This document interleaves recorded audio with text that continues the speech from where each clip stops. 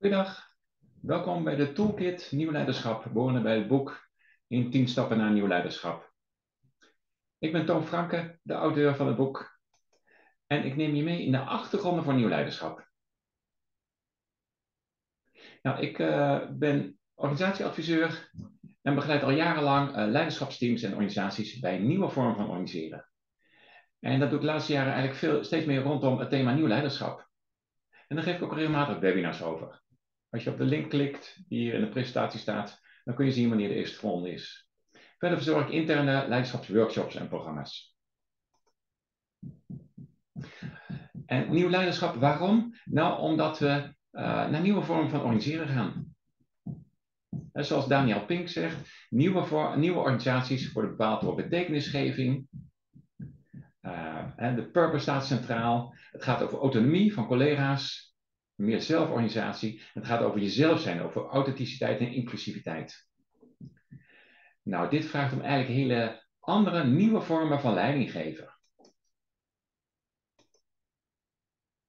Misschien herken je het zo wel als ik het wat concreter zeg. Eh, je collega's zijn eigenlijk, zitten veel thuis, hybride werken, je ziet ze niet zoveel meer.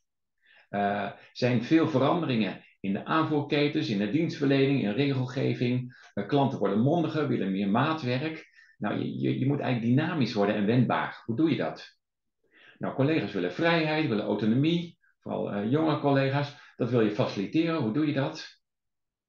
Nou, dat vraagt eigenlijk om, om sneller kunnen reageren en daarom uh, planning en controle werkt niet meer. Je moet op een andere manier moet je leiding geven, eigenlijk met meer vertrouwen, meer ruimte geven. En toch aan dat, aan roer blijven. Hoe doe je dat? Ik kan ook anders zeggen, uh, nieuw leiderschap is eigenlijk met name geschikt voor complexe vraagstukken. Kijk, als vraagstukken simpel zijn of gecompliceerd, hè, maar je kunt er nog wel op puzzelen. Je kunt zeggen, nou, we deden we vroeger, we doen een analyse, dan gaan we het aanpakken. Nou, dan, daar, weet het, daar weet je meestal wel raad mee. Maar complexe vraagstukken, hè, neem eh, zo'n pandemie of een complexe uh, organisatieverandering of organisatiecultuurverandering of verandering van de sector waar je in zit, um, inspelen op die klimaatcrisis, op de voedselcrisis. Nou, dat zijn zulke complexe zaken. Uh, dat vraagt eigenlijk op een nieuwe manier van opereren van je organisatie of bedrijf. En dus ook een nieuwe manier van leiding geven. Nou, in mijn boek geef ik dit schema aan. Je hebt het kunnen lezen. ik maak eigenlijk een onderscheid tussen traditioneel leiderschap, dat is een beetje hiërarchisch leiderschap, top-down. Dat kennen we allemaal wel. Um, veel bedrijven en organisaties zijn overgestapt naar meer coachend leiderschap. Ontwikkelingsgericht, medewerker staat centraal. En ik zeg eigenlijk van, nou dat is eigenlijk vaak niet genoeg. Ook een beetje, ja dat wordt dan misschien te mensgericht. Eigenlijk verliezen ze dan de purpose uit het oog. Dus daar praat ik over nieuw leiderschap. Het gaat over volwassenheid vragen, over leiderschap delen, gerichtheid op, je, op de purpose en het bestaansrecht. En je verbinden met de hele keten, het hele ecosysteem om je organisatie of bedrijf heen. Nou, de achtergrond van de, van de indeling die je net zag, is eigenlijk gebaseerd op de waardesystemen van Spiral Dynamics. Ik werk ze hier uit. In die middelste kolom zie je de type van leiderschap. Um, die zijn allemaal, dat zijn eigenlijk bepaalde waardesystemen. En je ziet hier het resultaatgerichte leiderschap. Dat was in kolom net. Dan hebben we het coachen, het mensgerichte leiderschap. En nieuw leiderschap zijn de laatste twee regels. Het visionair gedeeld leiderschap, gericht op purpose, maar ook een dienend en intuïtief leiderschap. Het surfen op de golven van het onbekende, van wat zich aandient. Ten dienste zijn van wat zich wil gebeuren binnen de branche waar je werkzaam bent. Nou, in de toolkit stap 7 worden deze waardesystemen nog verder uitgewerkt. Daar kun je er meer over lezen. In het kort, nieuw leiderschap. Het gaat over gedeeld leiderschap. Het gaat over dienend en intuïtief leiderschap. En heel belangrijk, het gaat over leiderschap niet als uh, kenmerk van het slimste of het beste individu, maar het gaat eigenlijk over leiderschap als een kenmerk van het systeem van je organisatie. In, leider, in je organisatie, in je bedrijf, vindt leiderschap plaats. Leiderschap en volgerschap. En dat is eigenlijk een hele nieuwe manier van kijken naar leiderschap. En dat gaat over leiderschap van iedereen. Niet alleen mensen in een managementpositie, maar over het leiderschap van alle collega's, alle professionals. Nou, als ik het wat concreter maak, wat is nou een uitwerking van nieuw leiderschap?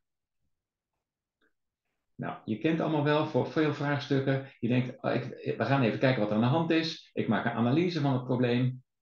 Ik kijk wat de, wat de oplossingsrichtingen zijn. Ik maak een stappenplan. En we gaan dat realiseren. Hè? We gaan, gaan er doorheen lopen.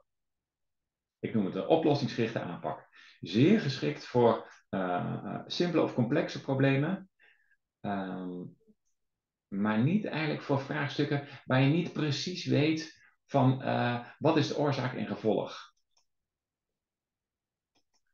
En dan moeten we naar de potentieel gerichte benadering. Nou, ik werk dat uit in stappen 2, 3 en 4, maar hier even het overzicht. Wat betekent dat? Betekent niet meteen gaan fixen, maar eigenlijk even nieuwsgierig blijven. Uh, verschillende perspectieven verzamelen, mensen, mensen spreken. Wat is hier gaande? Wat zie ik eigenlijk? Ook verdiepen en eigenlijk dieper luisteren, dieper kijken met al je zintuigen. In stap 2 uh, eh, werk ik dat verder uit. Wat speelt hier wezenlijk? Wat is hier echt aan de hand? En dan als derde het verstillen. eigenlijk uh, afstand nemen. Een stukje gaan wandelen. Door je heen laten gaan. Wat is hier nu mogelijk? Wat dient zich aan? Er verschuiven dingen in mijn bedrijf. Lijkt een crisis, maar wat is hier de kans? En wat wordt hier van mij gevraagd? Nou, lees je meer over in stap 3 en 4. En dan gaat het eigenlijk over uh, uitproberen, een eerste stap doen, een zetje geven. Om misschien juist even ruimte te geven, een vraag stellen. Je collega's, je medewerkers uh, uh, ruimte geven om zelf een oplossing te zoeken. En we werken niet het hele stappenplan af, we doen één stap en dan zien we wat er gebeurt. Geef eigenlijk ruimte voor toeval, wat er gebeurt, wat er organisch op gang komt.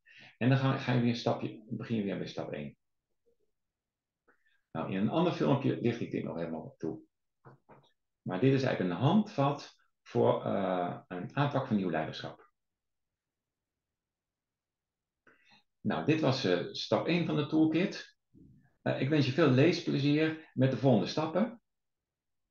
En kijk vooral ook in de toolkit naar de volgende lessen, waar je eigenlijk leert oefenen en methodieken krijgt om met nieuw leiderschap aan de gang te gaan.